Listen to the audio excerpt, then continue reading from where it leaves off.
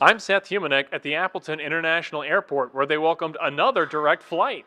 This time, Allegiant has a nonstop to Portland, Oregon, and it's the airport's first nonstop to the West Coast. Allegiant Flight 3871 from Portland to Appleton landed around 3 o'clock Thursday afternoon. The flight to Portland took off Thursday morning from Appleton.